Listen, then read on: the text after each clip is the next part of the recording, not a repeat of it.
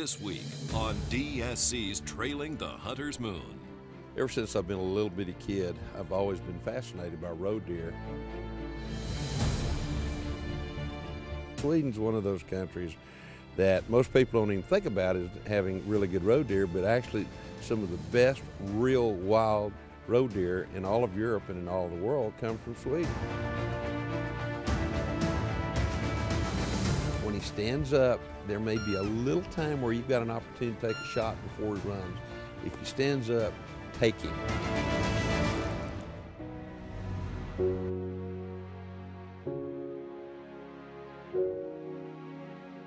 Had an opportunity to uh, put together a group to go to Sweden to hunt roe deer. Now, Sweden's one of those countries that most people don't even think about is having really good roe deer, but actually some of the best real wild roe deer in all of Europe and in all the world come from Sweden. A couple years ago I had the opportunity to hunt with Stefan and Sophia in Scotland for red stag up in the Highlands. After spending a little bit of time around them, I just absolutely fell in love with both of them as people and as far as hunters are concerned. And both of them too are wildlife biologists who have done quite a bit of work in the past, not only in Europe, but uh, really other parts of the world, such as in Africa as well. And just being around them with the attitude that they have and their love for hunting, the love for the outdoors, I just just knew that one of these days, if there was another opportunity, I want to go hunting with them. We are proud to say that we are working on some of the best privately owned areas in Scandinavia. Many of them has been managed for many, many generations regarding the wildlife management. There is normally a gamekeeper employed on them that is making sure that we are having the right number of animals and also some good trophies in those places. First of all, it's a very nice period in Sweden to, to hunt, usually very good weather. It's very exciting and the roebucks is very beautiful. And the nice thing with the roebucks is that all the trophies look so different. So one is not like the other. So even if you have 10 of them, they will look very, very different from each other.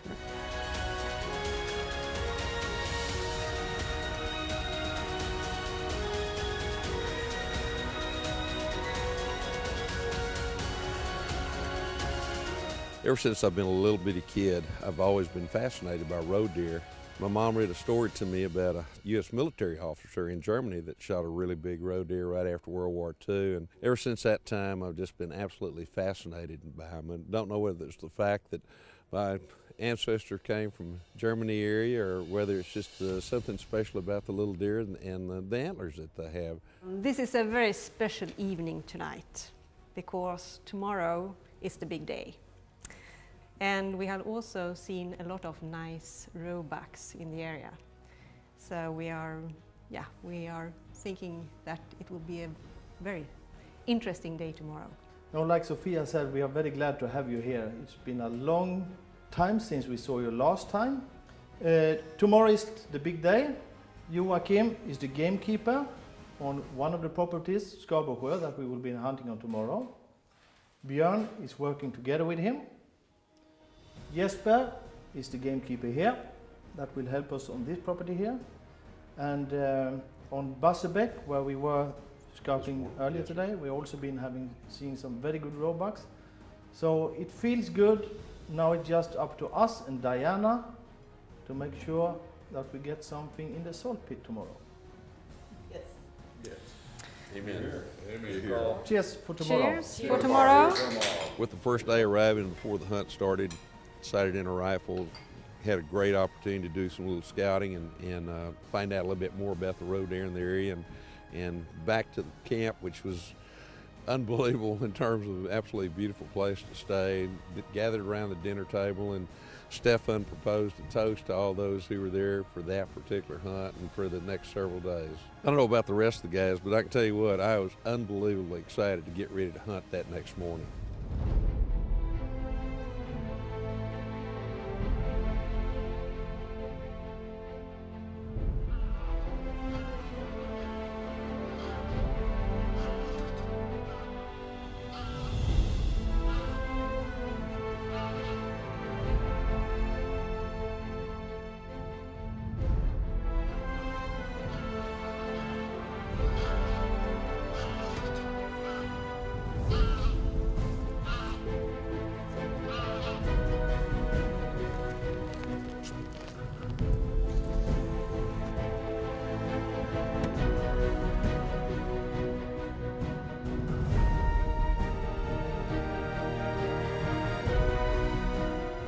Sophia to me is a very special lady. I, I, love the fact that she's a biologist and loves the outdoors. And she said, Larry, why don't you come with me one morning and uh, let's see what we can go find. She says, there's an area over there that we really hadn't spent a whole lot of time in. I think there's several bucks there. She says, I'm not sure it's one we want to shoot, but we really need to go over and have a look at them.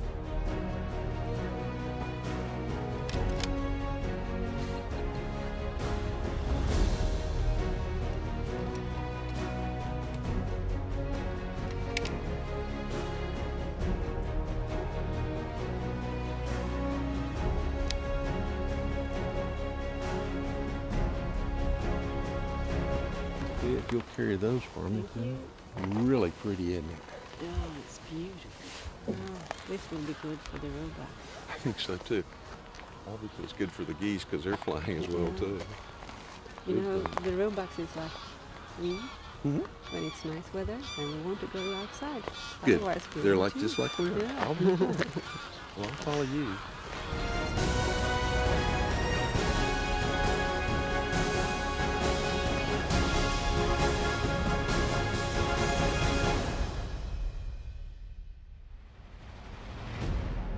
Deer out in the field. I mean, we're looking for a way to try to get closer to them. There's no way to make a direct approach because, I mean, they're out there in a green field where the tallest blades of grass are about six, eight inches, backed off into the brush and made a little circle kind of thing, kind of a circuitous semicircle to try to, re- to, to come out in a different area where we might have a better look at those deer.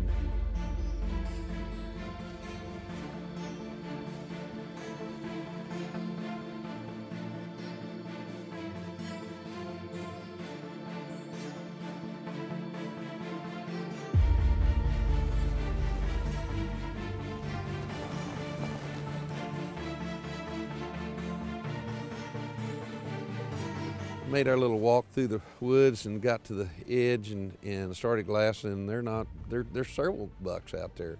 All of them absolutely beautiful. Not the ones that we're looking for, but certainly really good bucks. It's a nice young buck. a very nice young buck. He's a very nice, fine young buck, but he needs a couple of years more to get really nice. But uh, He's still young, you can know that because the other ones let him in. He had been a big one, he had been, they had been fighting with him, forced him away, but now they let him be here. Good deer, good deer, but what we're looking for. Looks like he needs another year or so. Definitely. Yeah. But we yeah. have some other nice ones yeah. we will check out. And he's not that one that we were looking for anyway, so the several bucks that I saw that morning with, with Sophia were absolutely amazing animals. I mean, beautiful bucks, just not quite what we were looking for. But the fact is that they live right around a power plant. I mean, within almost spitting distance of that power plant. It just shows how very adaptable these roe deer are absolutely beautiful animals. There, there, was one there that I, it's one of those that I've so very often say you wish your life away because you look at him, you go, man, I can't wait to see what he's going to look like next year. I dearly wish I could go back to try to find that one deer sometime in the future.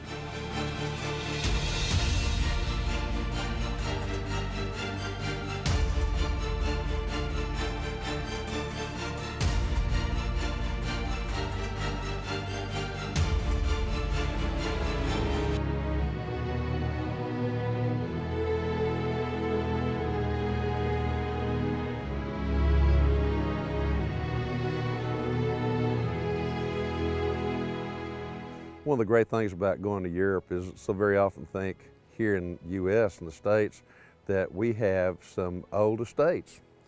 And I guess the estates have been here for a long time, but they were not really set up by anybody. They were populated by the Aboriginals. In Europe, of course, there's been civilization there for many, many years. And one of the things I enjoy about hunting with Stefan is it seems like we always find a place to stay, absolutely great facilities, an old home, and and be able to hunt some of those estates that have been in, around for many, many generations. In the instance of Sweden, was established in 1714. I don't think the home that's there is quite that old. I think it was built back in the early 1800s. But that particular property and that home where we're going to be staying has been in, in the, the same family for 13 generations.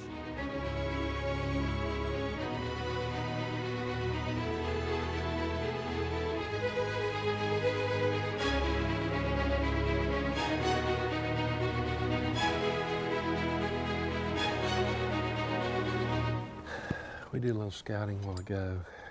Found a really nice roe deer down here. He's bedded down. It's right underneath the power poles. I mean, there's a, like a telephone line that runs through here. He's watched him bed down there earlier and try to ease down there, get fairly close, set up, and just wait for him to get up, and then try to figure which way he goes, left or right. We should be able to get fairly close to him. The wind's a little bit iffy, but I think we're going to be okay. If everything works right, perhaps we can get close enough to where we might finally be able to get a shot, realizing at the same time that, that this these different power poles kind of structured so they were in a little bit of a hole in each instance. But looking, I think we might be able to get there.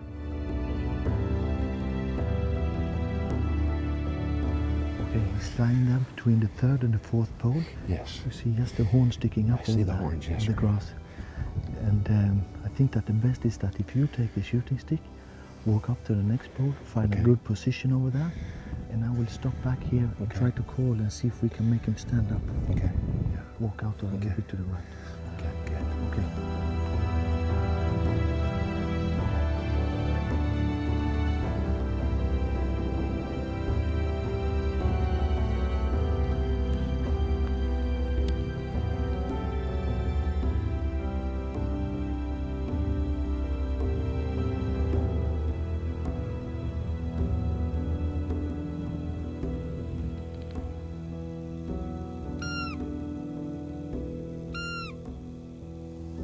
So that I will start to walk up a little bit to the left and make some calls from that side to make sure that he's standing up. He's getting a little bit more nervous than perhaps. We're watching the buck. He is paying no more attention to anything that's going on. Stefan has moved around probably about 25, 30 yards to our left, trying to circle to get this buck's attention. And he's just not paying us any attention at all. And there is no chance at, at a shot of any kind till he gets up.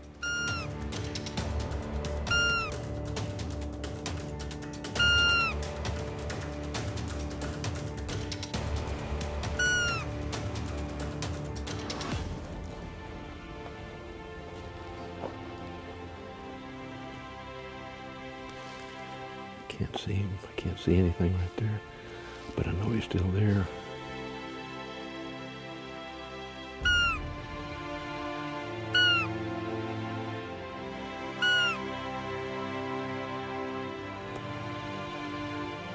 He's up. I can barely see him. He's moving.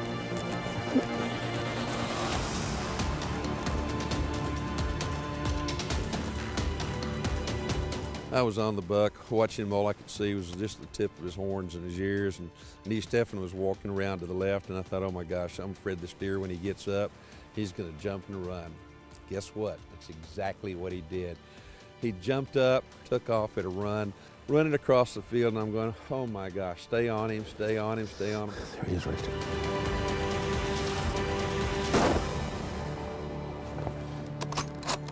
He's hit hard. He's hit hard.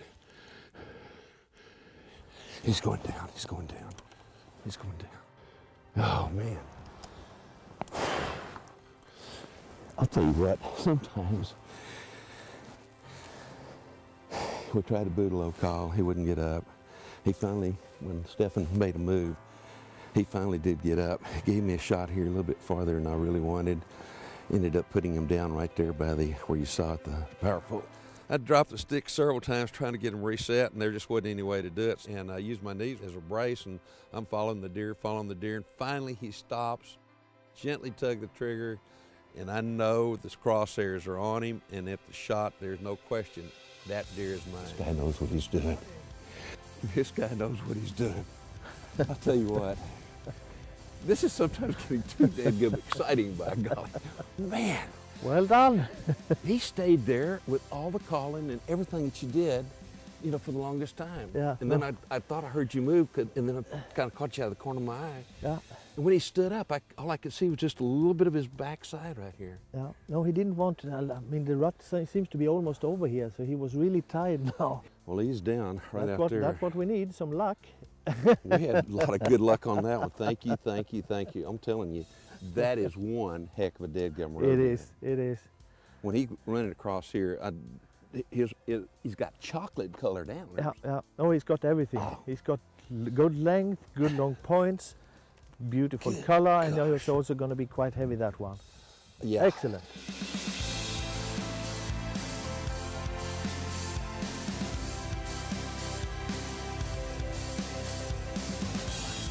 Look at those horns. They're absolutely beautiful. That, that, that, that's classic. That is absolutely Very much classic. a gorgeous. Yeah. Look, I mean, it almost grows together. And good long back points and front Good points. long back points. And it's actually thick the whole way up. Yes. All, yeah, it carries this is quite thick. thick. Yeah, and this one I think may be a little bit thicker than that Yeah. side. I'm so thrilled. This this is something I want want to shoot for a long time. I've taken one good roe deer many many years ago. I know this is a really fantastic deer. Walk up there and he is even much bigger than what I'd imagined. Put my hands on him. Thank the good Lord I'd made a, a reasonably good shot and, and uh, put this deer down. And oh man, I'm so excited I can't hardly stand it. I don't know what to say. I, am at a loss of words. I'm telling you, he is absolutely beautiful.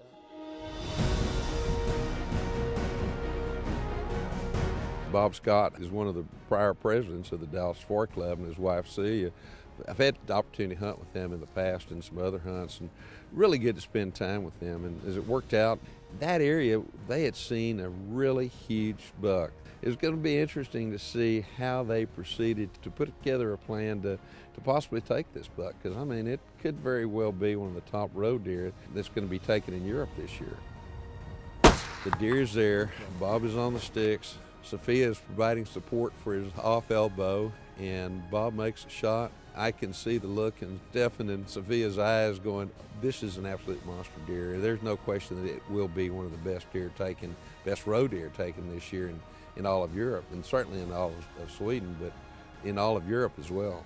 We'd set this hunt up with several couples who, some who wanted to hunt roe deer, and some who simply just wanted to, uh, to visit Sweden, but all those folks that wanted to take a roe deer took absolutely fantastic roe deer, probably the best roe deer they will ever take in their life, no matter where they hunt hereafter.